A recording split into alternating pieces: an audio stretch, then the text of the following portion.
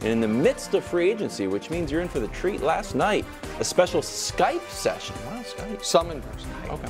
Uh, the committee met, fought, toiled, and burned the midnight oil to deliver the best segment in all of sports television. It's an honor and a privilege. It's time for a special edition, free agency edition of Nick's Tiers. It Wow. is, and as mentioned earlier, but I'll say it again, two of our nine committee members will be on this show on Friday. They're Tune in. staying over. Brew is gone. They said they would only come on if Brew wasn't here because he's disrespected the committee so much. So it worked out Are they quite well. secret or like the Greg mafia style? No, they're gonna. Work, They Yeah. will be unmasked on the show. All right, bottom of the tiers, all 32 teams already planning for 2025. Uh, the Jets got added to it because they're planning for a campaign in 2020, like cabinet appointments, a lot of things they got to do. Those four teams are like, okay, if we can stabilize, figure out the quarterback situation this year, then maybe next year we can actually make Not some unfair. moves. Right? Praying to the quarterback gods. All so Denver and Minnesota are like, please let this be a Big Ben situation where the third or fourth quarterback off the board that's available in the teens ends up being awesome because that's their bo- both drafting after 10. The Giants are praying. Please let Greg Jennings have a victory lap next year on Daniel Jones. And the, and the Titans are hoping that they, you know, they don't have to pray quite as hard because Levis showed some signs, but still he's second round pick. You got to have some things break your way. Uh, speaking of things breaking your way, everything has to fall perfectly. So all three of these teams, you can make a case, are going to be playoff teams next year. But everything has to fall perfectly. The Cardinals have to crush the draft. Kyler's got to be healthy and mm-hmm. play the way we've seen him play. The Saints need all of their 30 something year old guys to play at least a dozen to 16 games, is going to be very hard, and Derek Carr to bounce back. And the Seahawks need rookie head coach and Gino to be on the same page and Gino to have a season more similar to two years ago than last year. It can happen, but everything's got to fall perfectly. Omar Little arguably the greatest character. I think that's the next group. If it's not, go ahead reveal the next group. I'm sorry. Intriguing with the ceiling. Omar's after that. My apologies, guys. Intriguing with the ceiling. All of these teams believe they're going to be playoff teams. All of them are. Intriguing. Eh, Anthony Richardson coming back from injury is maybe the biggest unknown. What you're going to see Matt Ryan look like with the Falcons. All, all of Matt Ryan, jeez Ryan Louise, I can't get over again? it. I kind of Kirk Cousins with the Falcons, but none of those teams, as presently constituted, can win the Super Bowl. All of them will be disappointed if they don't make make the playoffs. Now, I was obviously a little overeager for the Omar Little tier.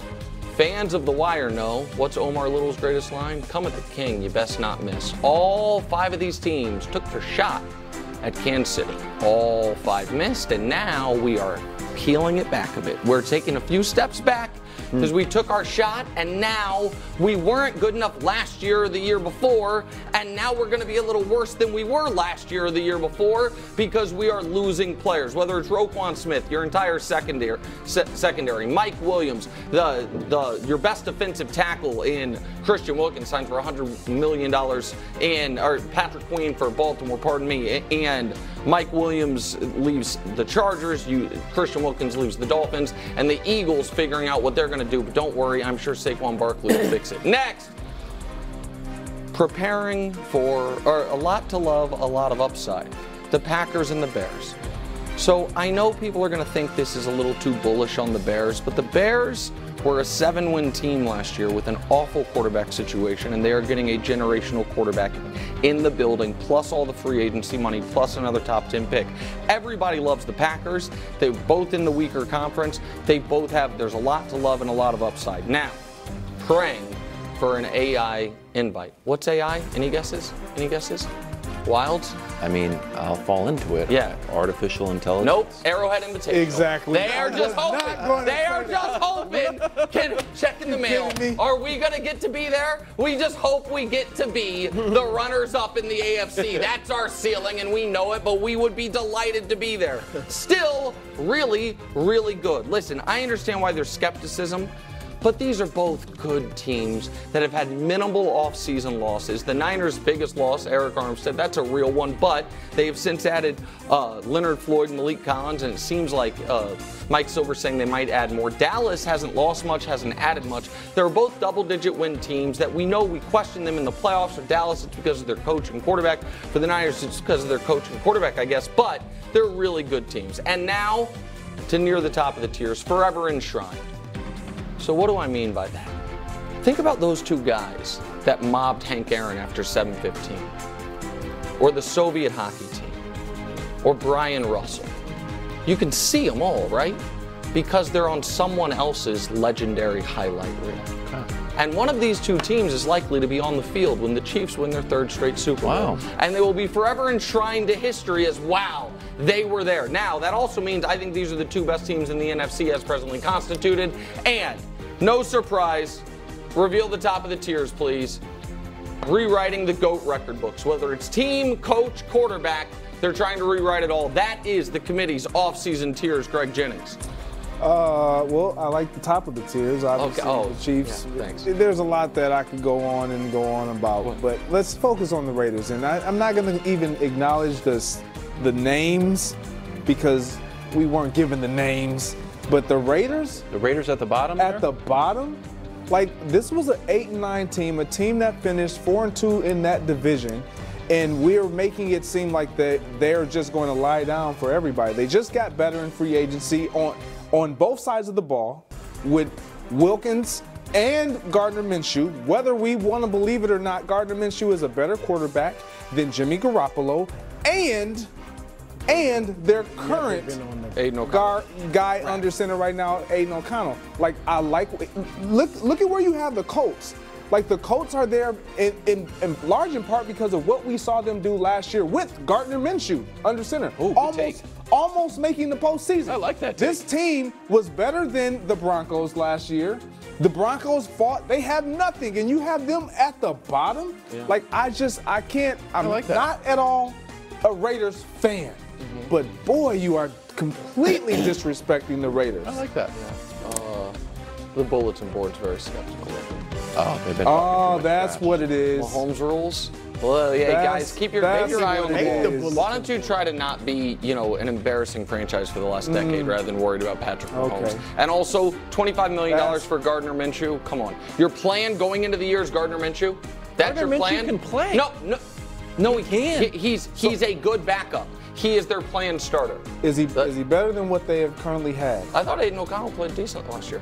He's better than the fact that you the fact that you didn't answer that question. I'll Yeah. let the Jimmy. G slide ahead, slide. Oh, my God. All right, I'm a the Ravens, Nick. I mean, i- if you had done this yesterday before they got Derrick Henry, maybe I'd have let this slide.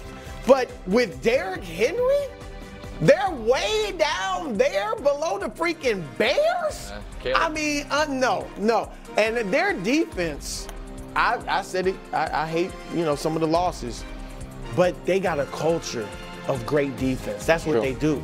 They've been in the top three, five of the last six years in scoring defense. They've been in the top 10, seven of the last eight years in defense. That's culture. Guys that weren't great defenders elsewhere go there and ball out defensively. So the defense is going to be fine. Offensively, now I got Derrick Henry. With all due respect to Gus Edwards and, and J.K. Dobbins and these guys, they ran well behind that offensive line with teams paying attention to Lamar first. What do you think the big man's gonna do? And he can still break them too? Oh my gosh. And they gonna get a receiver in the draft? They oh do my that gosh. every year, don't they? I don't know if any team spent more draft capital. uh, High, uh, They- Ravens a one, yeah, the Saints a Ravens- one. How many? I, the, Ravens should be All right. up, and they've matured. They've learned from their mistakes Oh, in the have they? AFC Championship. Really? Yeah, they will not be doing that foolishness that cost them against I, the Chiefs. you know what? I agree with you. They will not be doing much in the AFC Championship game this coming year. I, Wildes, I have a confession before you go. Go ahead. There was a lot of pushback from the committee about where I had the Ravens. They wanted them up a little bit higher. They wanted them alongside the Bengals and the Texans. Yeah. In the, you know, for the trying to get an invite to Arrowhead Invitational. I was like, guys, if we put the Ravens on the Omar Little tier, we can justify it and we can bait Brew into further trying to rekindle his love It's like anonymously sending him a thought- picture of a high school girlfriend, like, hey, no, nobody knows. Also just I'm like a Baltimore reminiscing. Thing. Yeah, oh yeah, reminiscent. Oh, and a Some good Baltimore times thing. together. Good point, It ended The badly, Wire. but we Yeah, had some good times together. We're exactly trying to right. get a, you know, rekindle Uh, that all right. flame. So, I also have a confession to make. I thought the Bengals were too low because I didn't get to. We don't get to see the title. Mm-hmm. And now you have them in the AFC Championship game. So I'm like, well, that's actually Yeah. pretty good. But without seeing the They're the title, you highest knew they were. Yeah, right. they were. I know, but you have them down on the fifth fifth spot or sixth spot. You know, it doesn't go left to right, maybe Yeah. six or seven. But in, in, and anyway, I made a Bengals. Uh, I believe in the Bengals. First of all, Joe Burrow underrated at this point, Greg? Maybe. When he was when he's healthy, underrated? Maybe. Just say I'm putting out maybe there. He's a very good quarterback. Feels like You were the guy one gets saying that he might be a system quarterback. I never saw said that he's from system Jake quarterback. I never You said- did. You, you flirted, flirted with with it. that. Jake Yeah. Browning can play a little bit. There you go. I'm just There saying go. Jake got- Browning or Gardner Minshew? Who you got? Probably Gardner, just because I like the outfits a little bit more. Uh, but what about the defense? You're saying, uh, Kevin? The defense was actually really bad. They gave up a ton of big plays. Uh, here's the graphic about the big plays, how bad they are. Uh, turns out they're the worst. Seahawks, Commanders, and the That's a lot of big plays. Good news. Wow. Free agency went and got Gino, and a little bit of addition by subtraction, take him away from the Ravens. And this is the this is the type of scouting the Patriots used to do. Oh, did you ever have a big play against us? You did. He intercepted Joe Burrow, ended up to it being a Bengals loss. Do we have the video?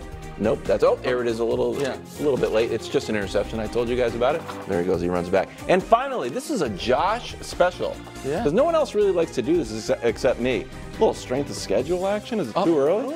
no. Eh, maybe. Non-divisional opponents. Some TCs on there, bro. A handful. We don't know how the year is going to go, but it's it's there are Yeah, some you're right. TCs there. Uh, last two years, NFL best 17 and 4 in non-division games.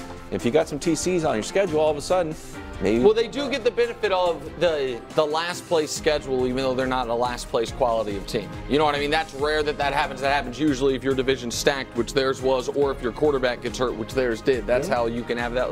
So listen, that's why they're fighting with the Texans it's fair. to be, you know, runners up in the AFC. a good spot for them. I just it's thought they were spot. too I- low. and by the way, they still have T. Higgins. Maybe Brew's right that they're going to hold their water on T. Higgins. Brew made a compelling Jonah Williams case yesterday. I was shocked he had that right off the top of his that was good. That was really good. crushed. I was